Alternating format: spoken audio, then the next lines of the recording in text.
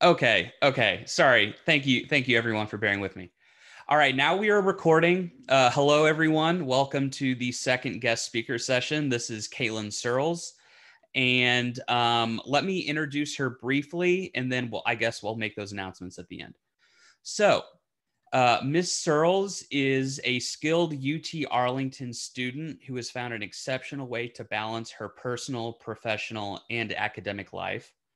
Uh, serving as student government president, Caitlyn has helped organize campus programs, events, and operations while also maintaining high marks in college and building her professional career in government and local politics.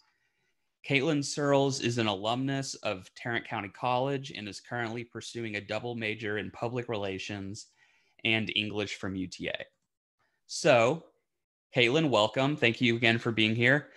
So so let's let's just get right into it and kind of jump off the conversation we were just having. So I'm assuming you don't have any off days, yes? Um you know what? No, not really. Uh, I'm I have off afternoons. Occasionally I have off mid mornings, so you kind of just have to grab time in between, but no, I don't really have any any off days. I I don't know what that word means anymore. right. Yeah, it's like that triangle in college where it's like uh, you have to pick two. It's like friends, grades, work, you know, yes. and it's like you can't have all three.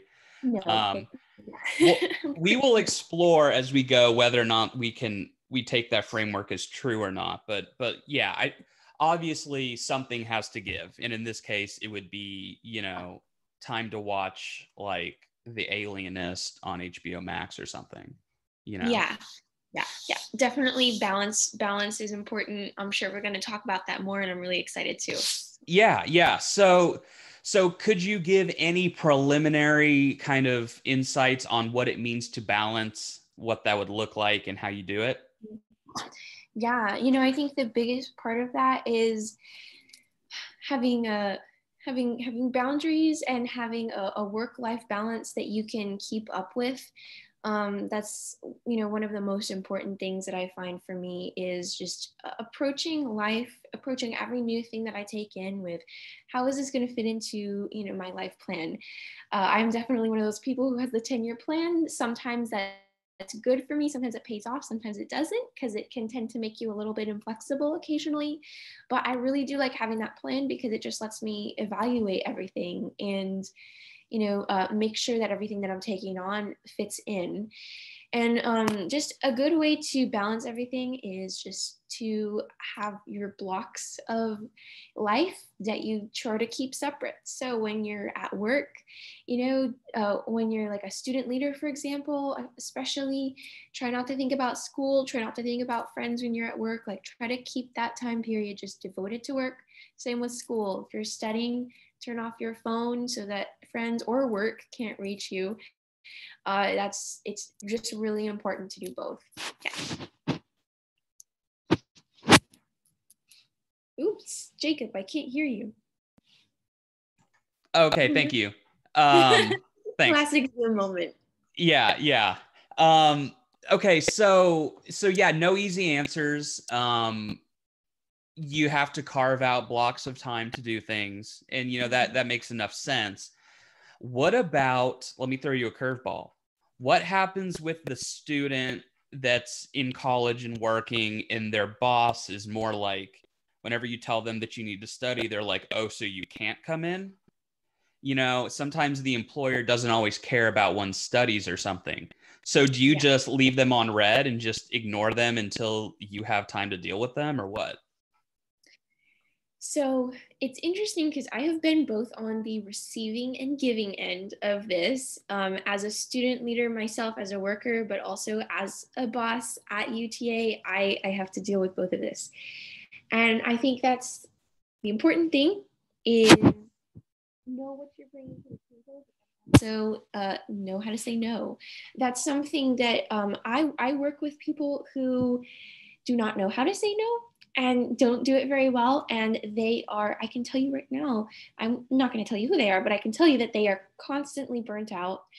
That it is very very hard for them to maintain their energy that they always are stressed and that often their, their stress makes this difficult on other people in the workplace as well.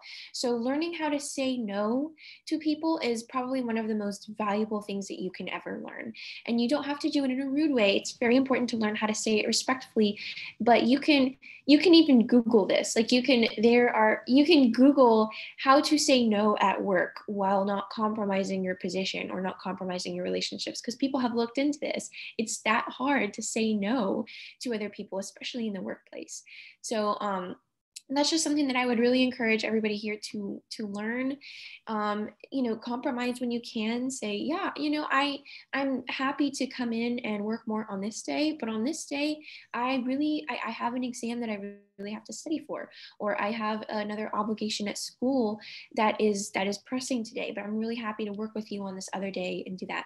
That's how you build up your professionalism, and that's how you know you make sure that you maintain those relationships. But like I said at the beginning, I've also been on the giving end of that.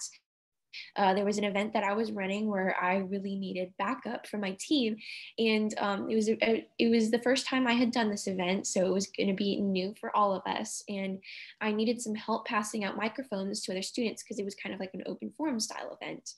Um, well, one of my team members, she had a, a quiz coming up. She had a reading that was due the next day, and you know she we kind of had a little a little moment where she was like i don't think i can make it. And i said i really would like it if you could because so and so team member isn't coming either and so and so team member isn't coming.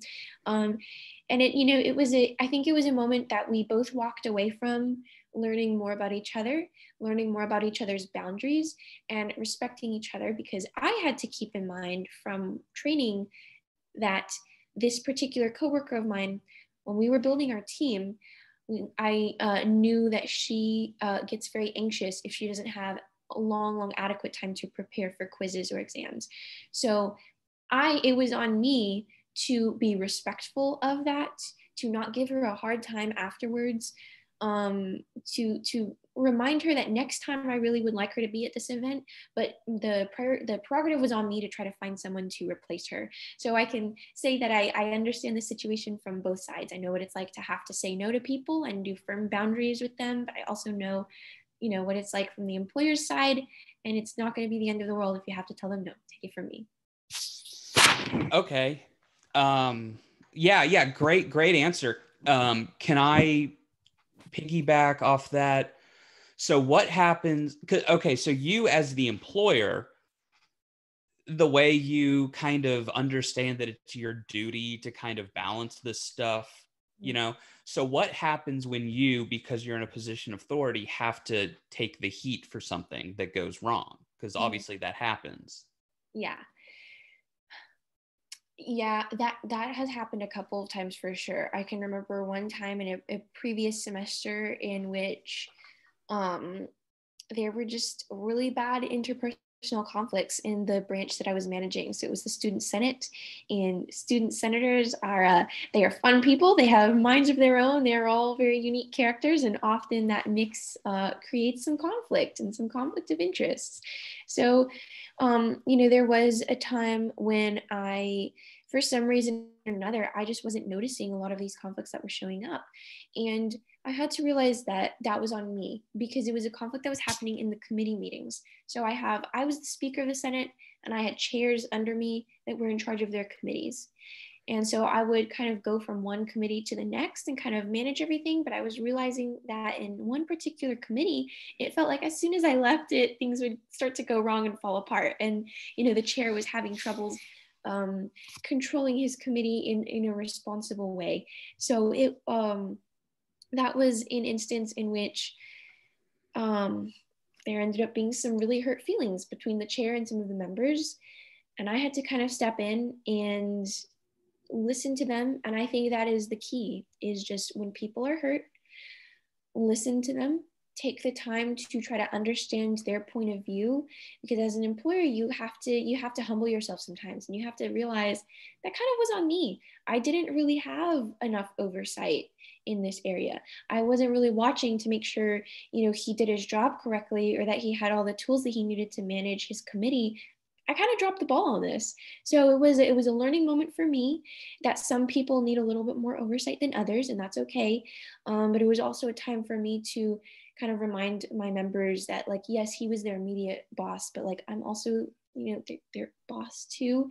But I'm you know I'm, I'm there for them. They can come to me they can talk to me about these things.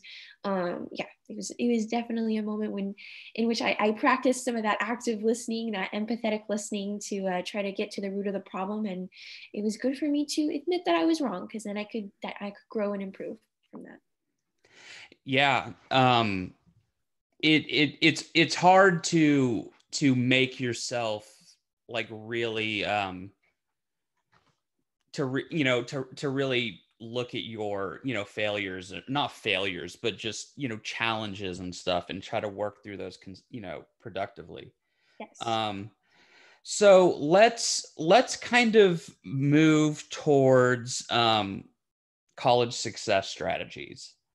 So beyond just budgeting time to to devote to each thing what other college success strategies do students like need to know before they mm-hmm. hit the university?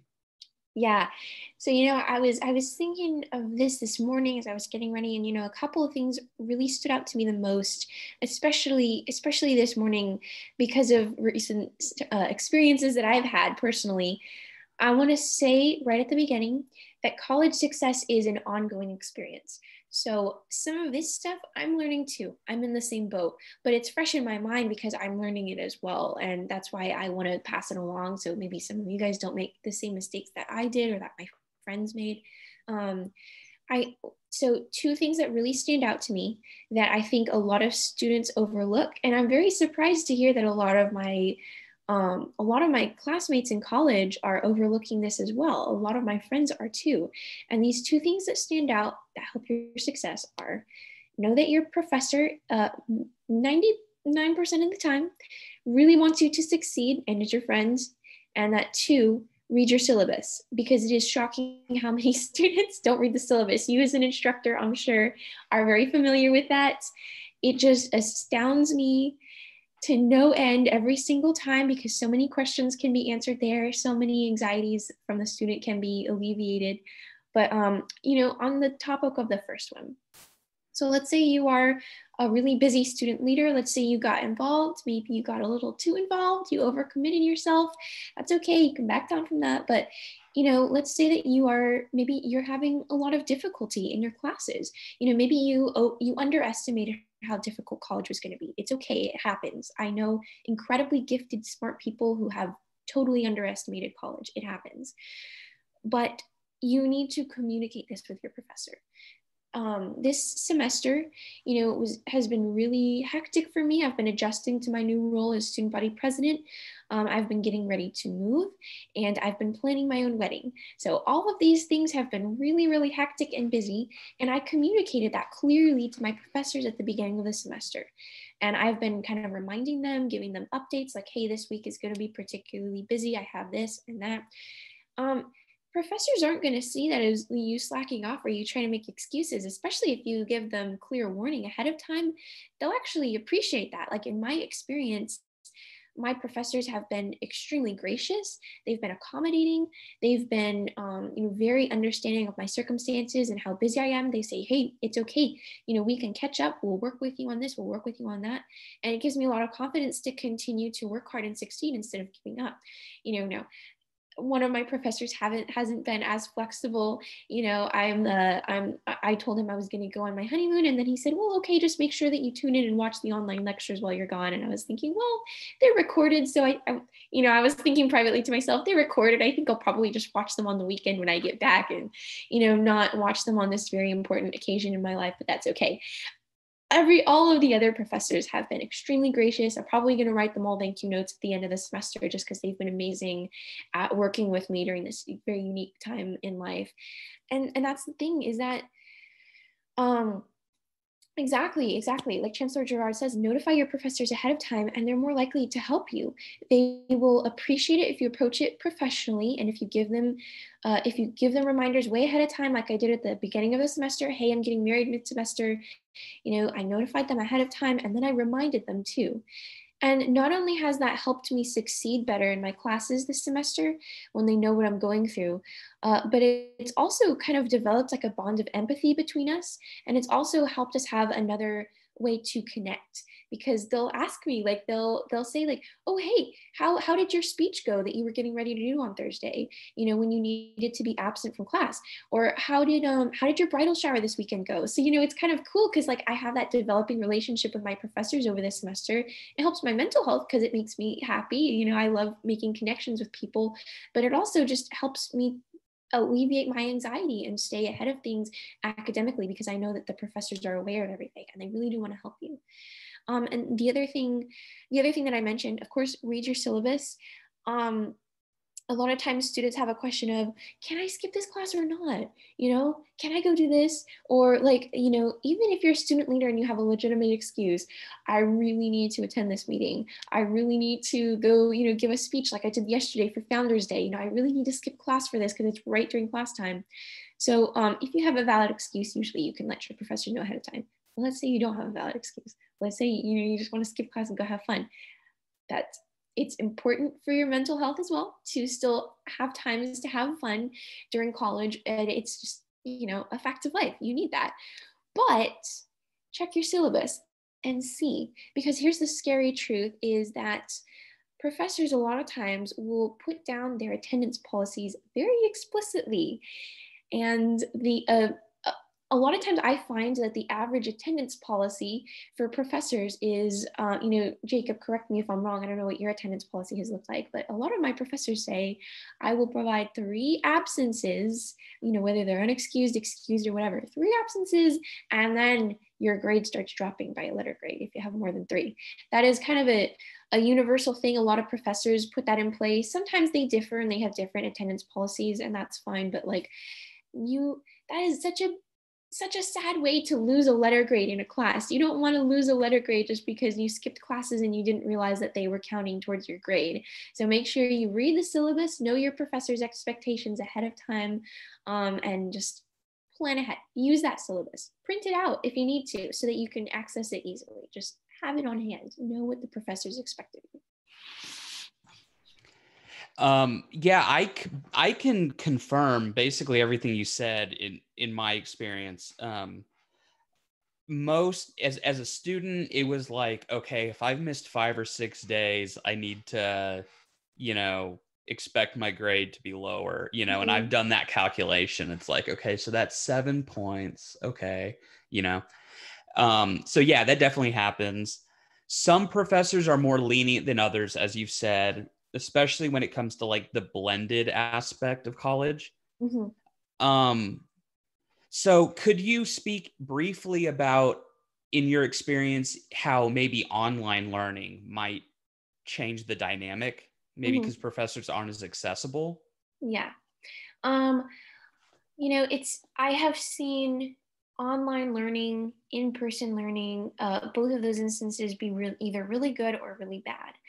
Um, and I think the challenge with online learning is that you mentally check out because when you are learning online you have a horrible work life balance and you have horrible like life and school balance because your the rest of your life bleeds into your school like you know you you cook your breakfast while you're listening to your class and you don't really end up listening to your class. We have all had that experience i'm sure over the past year. I know i did personally as well. It's that's the important thing to remember especially once you go to college and some some classes are you know, some classes are synchronous now and they have like the the lecture running so people can attend online while some students can attend in person that can be really helpful for your flexibility. If you have to work on something else while you're in the class, if it's an emergency, you can, but it's a pattern that you don't want to get into. You want to try to go to class in person as much as possible because I think online learning and online working, it really has changed the game in terms of our work life balance.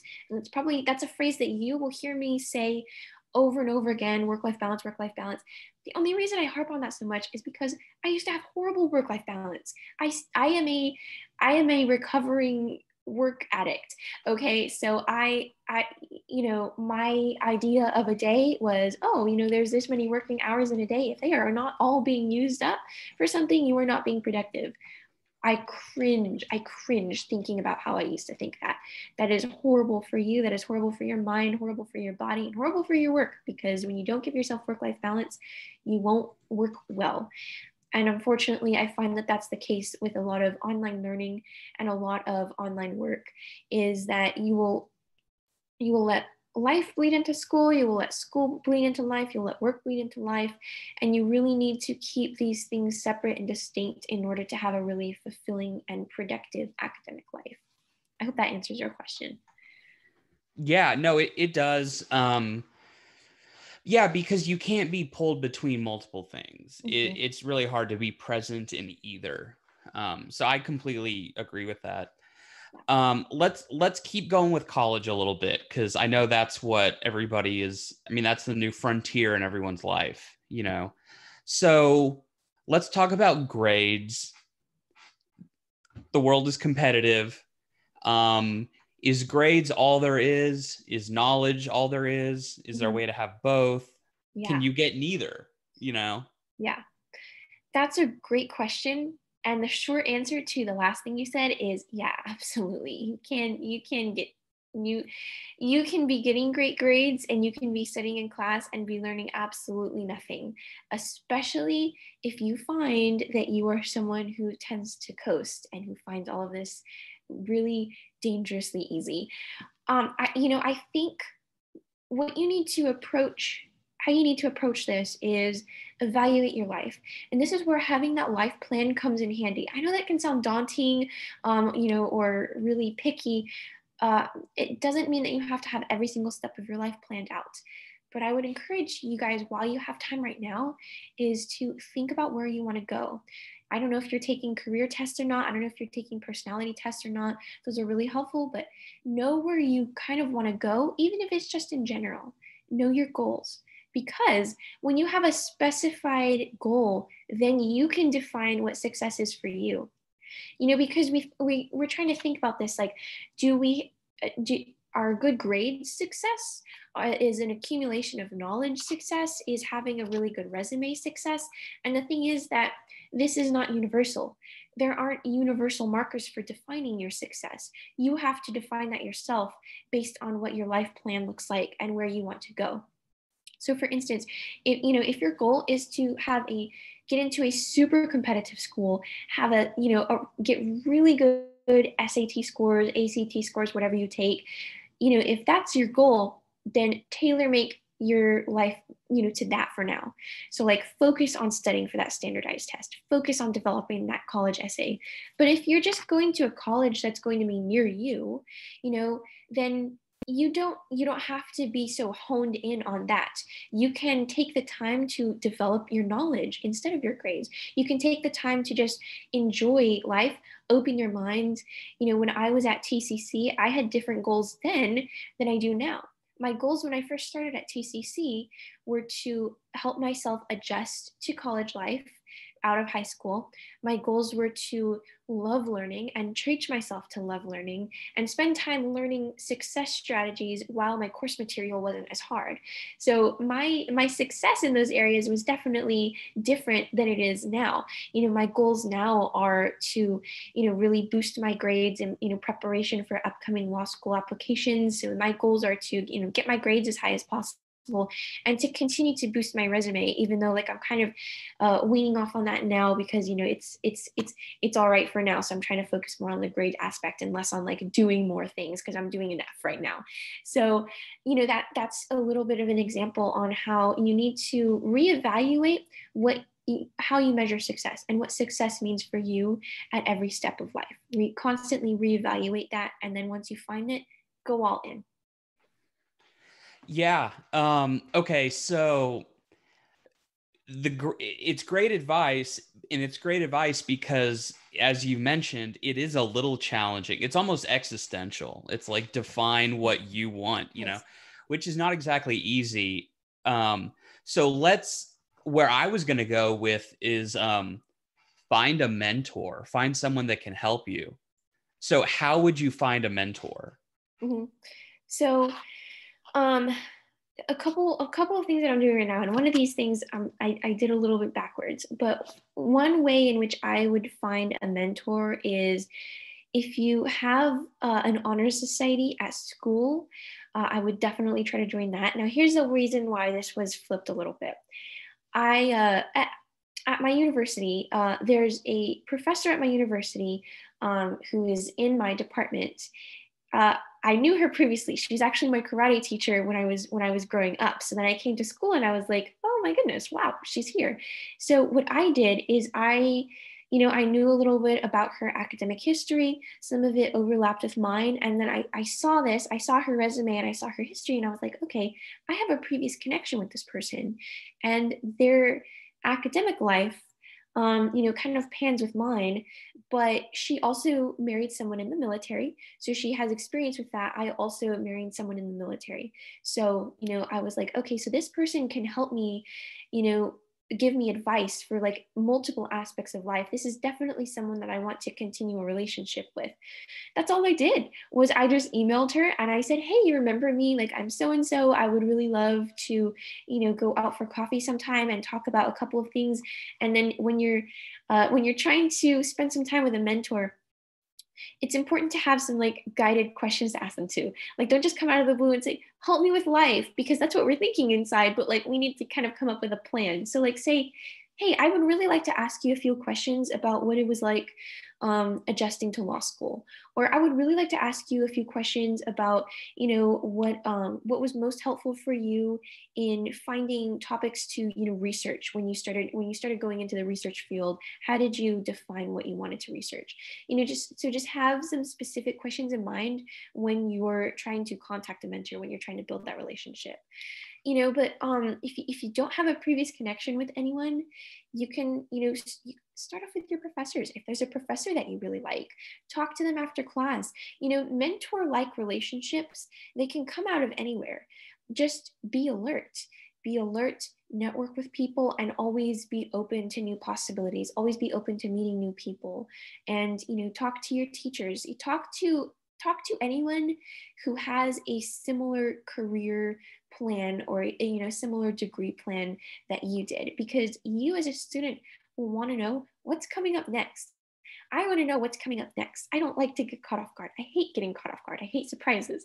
So that's why mentors are so extremely important to me because I can search out someone who has kind of a similar life plan that I do, and then I can ask them, what are some steps that you took to get yourself here? similarly like when i'm going to events in which there's a q&a you know a conference in which there's a speaker and they have an opportunity for questions. That is my number one question that i ask people. What are the career steps that led you to where you are? Because i love to see that step by step plan. It's so helpful for me. Yeah yeah great great answer. Thank you. Um yeah you'd be amazed how much stuff can go your way if you just ask mm-hmm. you know? I mean, and and and if I can provide my own perspective as a professor, I am more than happy to answer anyone's advice if they ask me a question. It's like, yeah. heck yeah, I'll tell yeah. you. Yeah, I'll tell you what I think. And we love um, it because, like, yeah. you're at that stage that you know you kind of paid your dues, and it's great. Professors want professors want you to ask them for help. They want you to ask them for advice. Yeah, and it also makes us feel important for yeah. sure. So play into our egos by all means. hey, at least you're honest about it, you know? Yeah. Um, yeah. Yeah. I saw that Chancellor Gerard asked, uh, asked a question on here, and I would love to answer that because it's a really, really good one. Uh, if you don't mind, Jacob. Yeah. Um, so it, it looks like he said, Do you feel it is better for your academic life to do a few things well or many things to grow your resume? And that's a great question. Uh, I have a cousin in high school who I'm in the process of kind of guiding her through uh, her high school life as she prepares to transition to college, do her SATs, do volunteer work, and she's overwhelmed by all of these options that she has. And so, one thing that I would like to say is again, it really helps to know yourself here. If you know your plan, like if you are like, I want to do this, and then I want to do this, and then I want to do this, if you're like that type A person, then it's really important to do targeted things because the more if if you are a person who knows exactly where you're going then the more diverse things that you do the, the more potentially burned out you can be. If you are doing all these things that aren't related to your degree plan your career plan at all you're going to feel burned out. But total on a totally other hand if you don't really know what you're doing that is one of the best things to do is to do a lot of different things to grow your resume. Because you can end up finding your life passion doing just something totally random. Like for like you volunteer you know for instance you know at a you know mission arlington for instance or you know let's say you get to know their marketing director and you're like oh how do you you know how do you talk to donors? Like how do you arrange events or something like that? And through that you may find out randomly like wow i have a i have a passion for marketing and pr that i never knew that i had you know? And so you can just find random passions here and there like just realize that this is something that i wanted to do and i never knew i wanted to do it. And the only way you could potentially find that out is just by doing varied things to grow your resume. So that's what i would suggest to you is again know yourself. If you know exactly what you want to do only do things that help build up that area of your resume and research how to build that up if you don't know what to do, spread your wings, try all sorts of things until you find out what you want to do. I'm mute. And now I'm not. Now I'm not. Is have you done any wacky jobs or known anyone that's done any wacky jobs in this process? Let me see. I mean, um, I so it's not necessarily wacky, but I have, you know, I did have a lot of experience doing retail. Like when I was a, a tr- when I was a transfer student, uh, not a transfer student, but when I was at, was at TCC, you know, I worked in a plant nursery for the longest time not related to my degree at all. I'm, I had a lot of people ask me there while I was working there, oh, are you studying botany? I was like, no, I'm not. I'm, you know, going to study PR and English. You know, I'm going to go to law school. I'm not, I'm not doing the whole botany thing.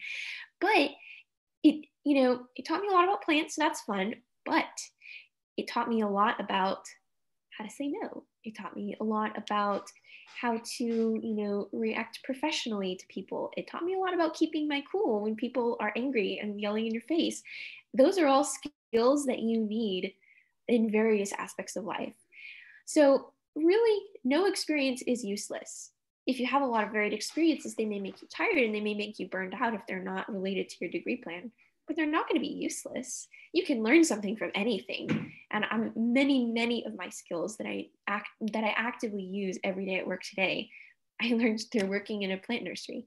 I even had to I even had to like give talks there. So like they would have they would have times in which like they would have a you know uh, talks that I would have to give about like here's how you plant all these different plants or like here's how you landscape this or here's how you do that and you know I would have to give talks. That was important for me, not so that I could you know develop a knowledge of botany necessarily, but it was really important for me to practice public speaking in an environment in which I only had like 30 minutes to prepare. So it was, you know, I learned a lot of skills there that I use every day and that I wouldn't have known.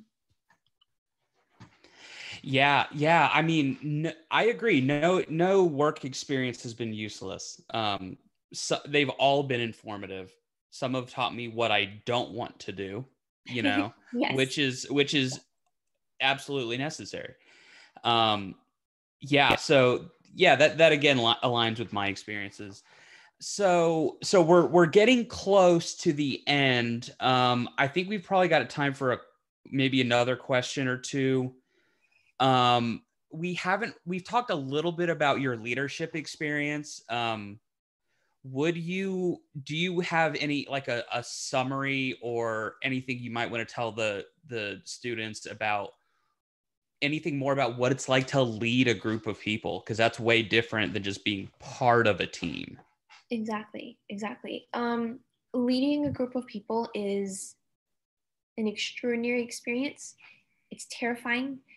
Uh, be aware that it will put you in a lot of uncomfortable situations and be aware also that it will put you in a lot of extremely exciting situations that you never knew that you'd be able to be in.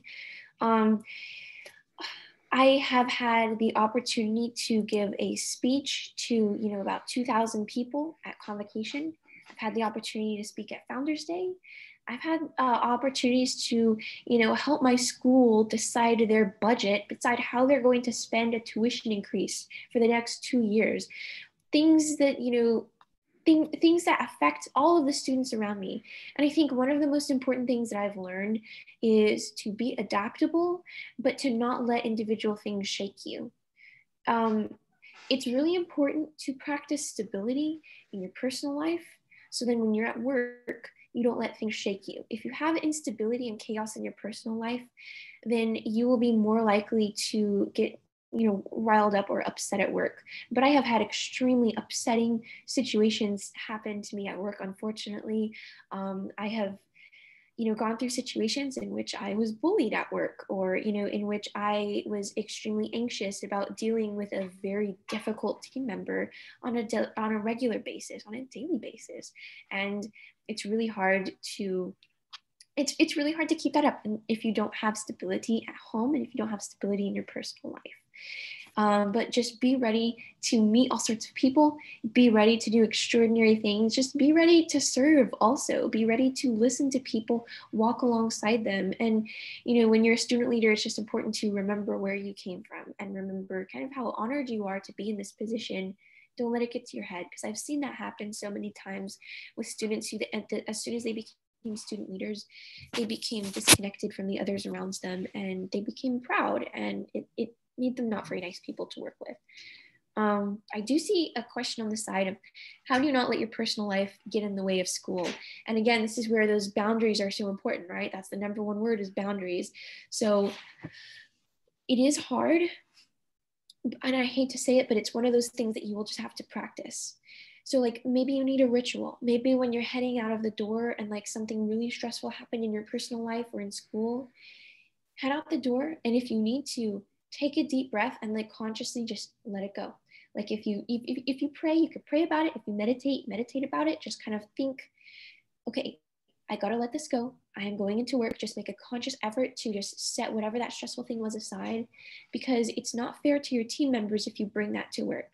I work with people who have a very difficult time, as I said, with work life balance. Um, I work with people who have a really difficult time with that. So they end up bringing in all these extraneous things into their, you know, into their workplace and it really bleeds into our team environment, it really makes it difficult for us to work with that person because they are just dealing with all this stuff at home that they're bringing into the workplace. And so I would tell this person, you know, um, just try to have better work life balance. Pursue counseling if you need to. Talk to someone outside of work. Find someone outside of work that you can talk to about this stuff. And of course, I'm always there for you.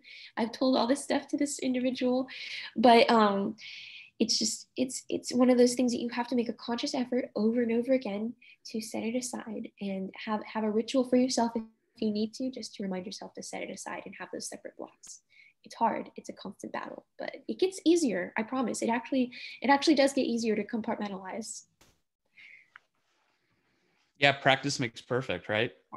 Yeah. Um, okay we have three minutes left. Do you want to uh, briefly talk about your experience with PR and law? Yeah, yeah, I saw that question right there. So, okay, so I'm going to be fully honest here. I have a lot more experience in, in PR than in law. So PR is a, is a degree that I've, I've talked to a lot of my professors and they say that it's a really good uh, entrance into law. So is English. So I'm kind of, you know, using those to try to build my foundation up to like English, English, for example, it's a really good to uh, help. It, it's really good to help you prepare for the LSAT. It's actually one of the degrees that actually makes one of the top scores on the LSAT. So it's just good for, you know, learning how to be logical in your approach because most of the LSAT is is it's logic. You know, it's logic, it's critical thinking, it's critical reading skills. That all of those things are things that you need to know. So English has helped me a lot prepare for that. Otherwise, I don't have a I don't have a lot of professional experience yet. Although I really hope to like get an internship in a law firm right after I'm done with this whole student body president thing, because that is all consuming. Do not try to do anything else while you are student body mm-hmm. president. But um, my uh, experience in PR, I I have had a lot of experience in PR at work. So there are a lot of times in which I've even had people in the line at Starbucks try to get me to say bad things about a certain organization or about certain aspects of my job. People like literally in line for Starbucks, people trying to round me up, get a reaction out of me the important thing is to think about everything that you're going to say. I know that sounds basic. Think about what you're going to say before you say it.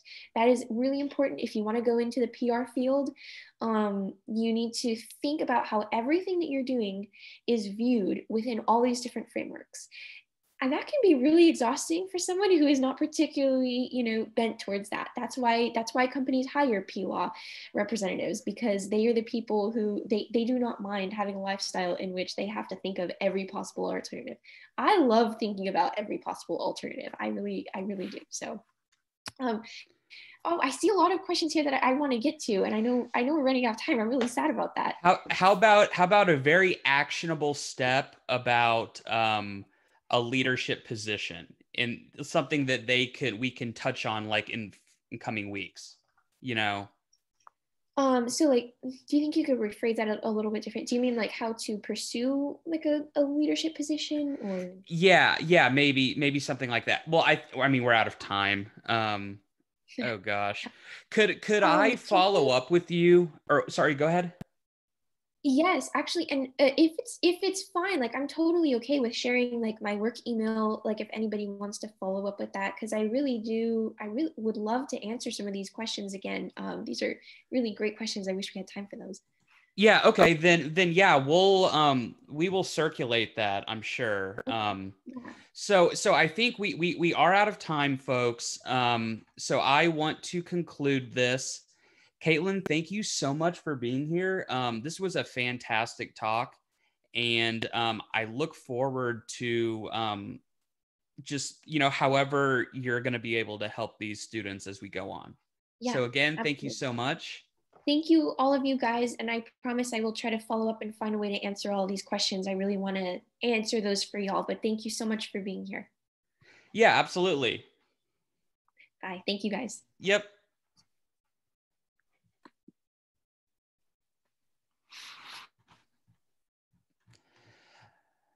Um, okay, folks. So I am about to end this. Um, yeah, please send your questions to back to parchment at Gmail and we will get them circulated to Caitlyn. Um, if there, if whoever else is still on this call, allow me to make those announcements. Um, so we do have a cover letter workshop next Monday at 5 p.m. It will be virtual. Um, and then students can also submit an application to become a Parchment Fellow uh, and get connected with a career mentor via this link. I'm about to post it in the chat, uh, but we will also post it again basically everywhere. Okay, so here's that. Um, okay, folks, I'm good if y'all are. Thank you.